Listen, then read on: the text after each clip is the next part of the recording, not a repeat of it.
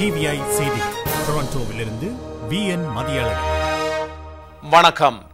ஐக்கிய நாடுகள் மனித உரிமை பேரவை கூட்டத்தொடரின் இரண்டாவது வார அமர்வு இன்று ஆரம்பமாகிய போது இலங்கை தொடர்பாக இரண்டு உரைகள் முக்கியத்துவம் பெற்றன.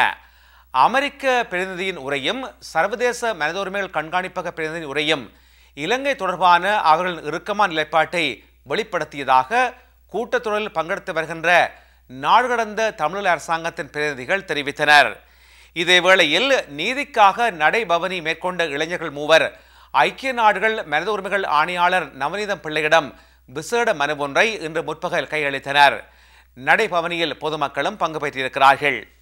ஐக்கிய நாடுகள் மனித உரிமைகள் பேரவையில் இலங்கையை இந்தியா ஆதரிக்க கூடாதென கேட்டு இந்திய மார்க்சிஸ்ட் கம்யூனிஸ்ட் கட்சி ஆர்ப்பாட்டம் நடத்தி இலங்கையில் தமிழ் பிரதேசங்களை இராணுவத்தினரே ஆட்சி புரிந்து வருகிறார்கள்.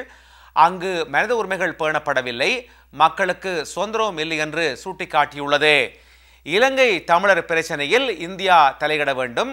தமிழர்களின் உரிமைகளும் வாழ்வாதாரங்களும் பாதுகாக்கப்பட வேண்டும் என சென்னையில் உள்ள இலங்கை துணை தூதரகம் அருகே இன்று நடைபெற்ற ஆர்ப்பாட்டத்தில் வலியுறுத்தப்பட்டது.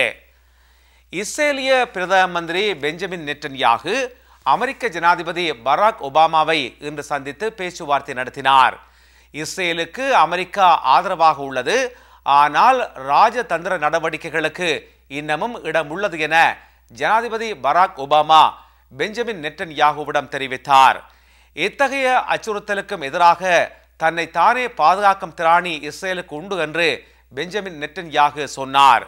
விரிவான செய்திகள் டிவிஐயின் செய்தி அறிக்கையில் இடம்பெறும்.